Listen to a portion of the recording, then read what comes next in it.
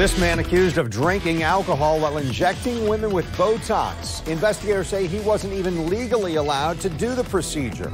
It is one of the most bizarre cases a Jacksonville Sheriff's Office investigator says that he's seen in his career. Investigators say Nelson Turin branded the procedures as Botox and Bubbles events, where he would drink champagne and Four Loko during consultations.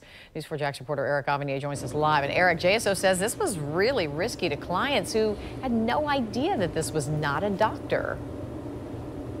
Yes, very risky because uh, Turin Nelson Jr. is not licensed to perform Botox injections. In fact, he was arrested here at the Luxus Clinical Esthetician Office located off San Jose Boulevard after undercover vice detectives say they caught him in the act. Now, the investigation into Nelson began after JSO got a tip from another law enforcement agency that Nelson was illegally performing medical procedures. The tip said Nelson was willing to let his clients take the risk while he pocketed their cash. Investigators say say Nelson posted videos online of himself injecting clients with Botox and then performing other esthetician treatments. Now, we can bring it back here live.